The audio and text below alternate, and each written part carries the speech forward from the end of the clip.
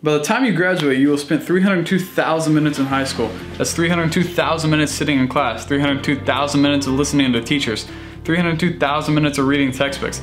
But at the RayPec School of Enterprise and Design, you can apply half of those minutes to advance your career, to follow your passion, and to prepare you for your future. The RayPec School of Enterprise and Design is a new concept designed to help students find their voice and take a charge in their own academic journey. The school day looks different at E&D. You don't have bells, you aren't stuck in a classroom, you have interactive learning. You get to go out in the community and interact with real people and real situations. You get to dream big.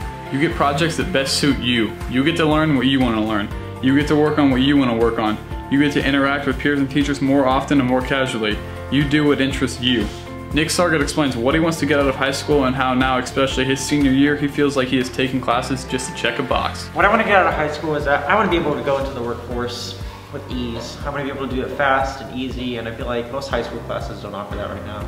Checking boxes off and uh, they're not really doing anything besides the basic necessities, but not really the basic necessities because the basic necessities are what I need in order to ease into a job after high school.